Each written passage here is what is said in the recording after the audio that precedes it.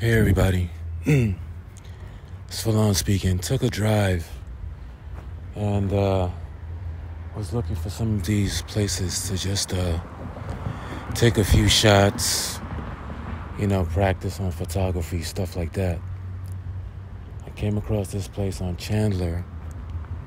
Um, it's called the uh, Los Angeles Graffiti Mural. They have some pretty interesting things when it comes to murals. Uh, like this one here that says Reno's Burger Phil's Diner. Very colorful, interesting. Thought I'd stop by, take some pictures of this, record some videos. The vibe is very laid back. And then over on this side is like a mural of the metro and a train. Symbolic.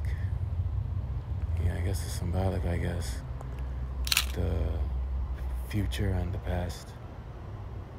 So yeah, just you know, taking a few shots of these things, getting more familiar with shooting outdoors, the new cameras, the new equipment,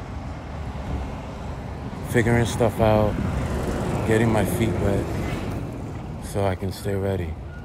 But yeah, um, just yeah, enjoy the flicks, enjoy the photos, and uh, let me know what you think. See ya.